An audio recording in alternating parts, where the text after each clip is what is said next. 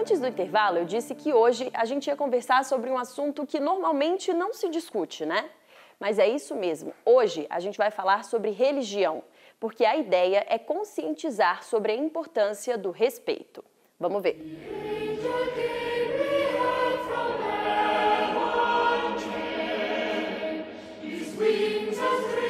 Católica, evangélica, espírita, budista, umbandista, enfim, no mundo existem inúmeras religiões, todas com seus princípios, suas práticas e crenças.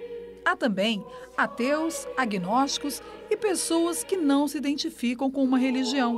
O importante é ter respeito pela crença de cada um, porque no fundo todos estão em busca do mesmo objetivo: alcançar a paz e o respeito entre os seres humanos e a natureza.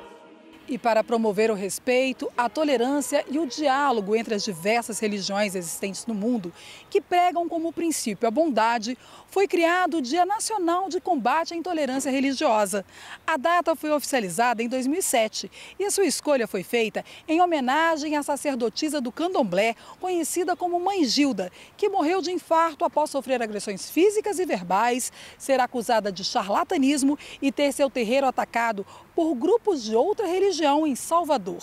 Depois da assinatura da lei, representantes de diversas religiões, principalmente de matriz africana, a que mais sofre discriminação religiosa, passaram a realizar reuniões e encontros para propor medidas para enfrentamento e prevenção a ataques. Em Brasília, representantes de terreiros e organizações não governamentais se reuniram para discutir o assunto. O segmento de matriz africana hoje está sofrendo a, a intolerância na carne.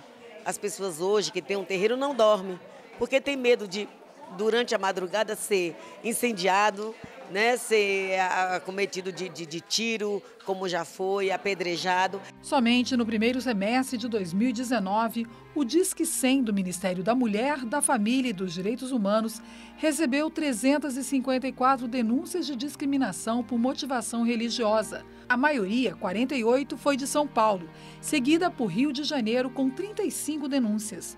No mesmo período do ano anterior, 2018, foram registradas 211 denúncias. Tem pessoas que é, já, já te olham meio assim, respeita, mas te deixa um pouco de lado, né? É, ou então uma brincadeira ou outra, é, fala, ah, macumbeira, é, sabe? Esse, esse, tipo de coisas. Digo, não, eu sou espírito, eu sou espiritualista, eu sou de Deus, eu sou do orixá, né? Que para mim é importante. O mesmo balanço mostra que, do total das vítimas de discriminação por motivação religiosa, 66 pessoas eram da cor branca, enquanto 74 eram pretas ou pardas. Esses dados mostram que a intolerância religiosa também está ligada à discriminação racial. A gente quer trazer paz, harmonia para todas as religiões, né? para a gente se juntar, para ser uma força dentro da, da matriz africana. E e, infelizmente, muita gente não aceita, né?